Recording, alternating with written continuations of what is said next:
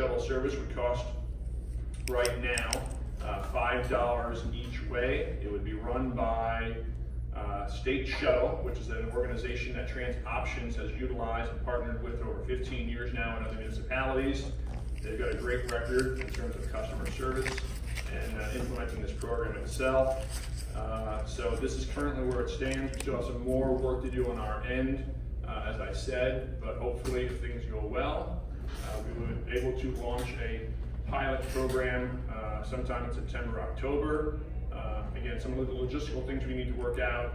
Uh, if people are going to pre-register uh, for it, if they're going to reserve spots at these locations, if there'll be a lottery, uh, but more to come on that in the uh, future meetings. And I'll defer to Bob if you have anything else